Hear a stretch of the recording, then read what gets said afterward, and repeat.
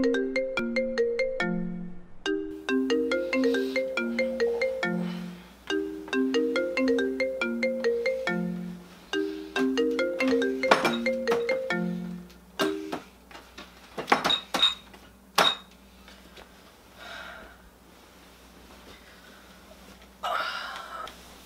hate mornings.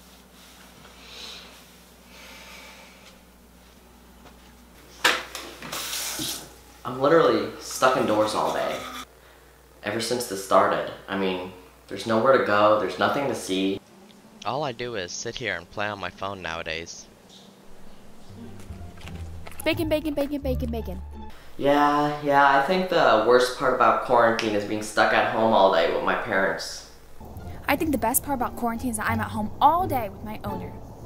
Mmm, snacks. Oh, would you like it that? Yummy snacks.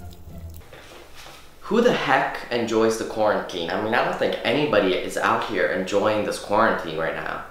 I can't believe this. This quarantine thing is so fun. Who the heck would ever be bored? Finally, quarantine is over. I can see Franny again. Didn't you hear? COVID 20 came out and we have like 10 more weeks of quarantine.